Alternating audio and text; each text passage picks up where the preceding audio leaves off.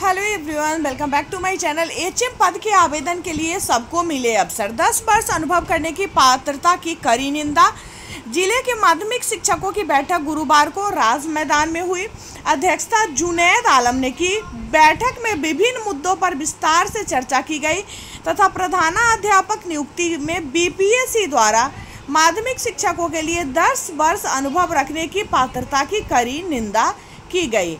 अनुमंडल सचिव सदर मोहन चौधरी ने कहा कि डाइट नियुक्ति में तीन वर्ष का अनुभव रखा गया था, पर प्रधानाध्यापक नियुक्ति में दस वर्ष का अनुभव रखना माध्यमिक शिक्षकों के साथ घोर अन्याय है।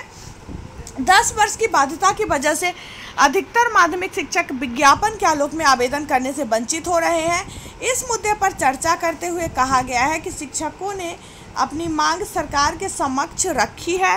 अनुभव की बाध्यता समाप्त की जाए और यदि अनुभव अनिवार्य रहेगा तो उसे तीन वर्ष रखा जाए ताकि ज़्यादा से ज़्यादा अभ्यर्थी इस विज्ञापन से आवेदन करके प्रधानाध्यापक के पद तक पहुँचने की प्रक्रिया में भाग ले सके। केवल परीक्षा में बैठने से वंचित करना या कहीं से उचित नहीं है बैठक में मौजूद शिक्षकों ने कहा कि संविधान भी अवसर की समानता की बात करता है। अतः हम सभी शिक्षक सरकार से इस मुद्दे पर अनुरोध करते हैं कि बीपीएससी के संज्ञान में लाकर अनुभव की इस बाध्यता को कम करने का प्रयास किया जाए।